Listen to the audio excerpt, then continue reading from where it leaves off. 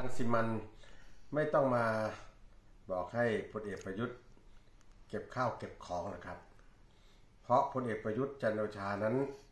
ท่านทำตามกฎหมายยึดหลักกฎหมาย วันนี้ท่านยังทำหน้าที่นายกรัฐมนตรีอยู่ ยังไม่มีรัฐบาลใหม่เข้ามา และขณะนี้เนี่ยคณะกรรมการการเลือกตั้งหรือกกตก็ยังไม่ได้รับรอง สสพักการเมืองไหนแม้แต่คนเดียว พักก้าวไกลก็ยังไม่ได้ถูกรับรองแม้แต่คนเดียว ดังนั้นแล้วเนี่ยคุณลังสิมันอย่าเพิ่งเขาเรียกว่ากัดสรรอยากจะเป็นรัฐบาล อยากมีอำนาจ อยากเป็นนายก อยากเป็นรัฐมนตรีมากจนเกินเหตุ อย่าว่าแต่เรื่องอยากจะเป็นรัฐบาลเลย เอาแค่เรื่องประธานสภาผู้แทนราษฎร ก็ยังแย่งกันนะครับ เหมือนกับหมาแย่งข้าวกันเลย ผมไม่อยากใช้คำนี้หรอก แต่ว่าดูแล้วพี่น้องประชาชนบอกว่า ไหนบอกว่าเป็นการเมืองใหม่ ไหนบอกว่าเป็นคนรุ่นใหม่ ไม่ทันอะไรเลยครับ ข้าวหม้อจะไม่ทันร้อนเลย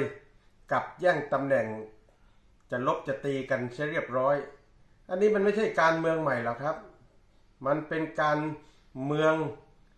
เก่าการเมืองน้ำเน่าแบบเดิมๆไม่ได้มีอะไรพัฒนาไม่ได้มีอะไรเปลี่ยนแปลง ประชาชนเห็นเช่นนั้นแล้ว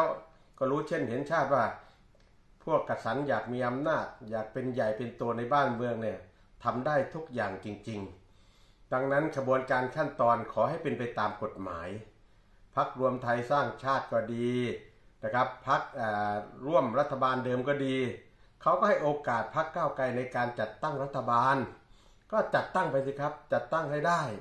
นะครับ อย่าให้ตกเก้าอี้กันแล้วกัน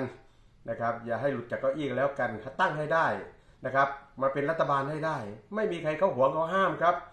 ท่านนายกก็ดีท่านพรรคร่วมรัฐบาลเดิมก็ดี ไม่มีใครเขาขัดขวางนะครับ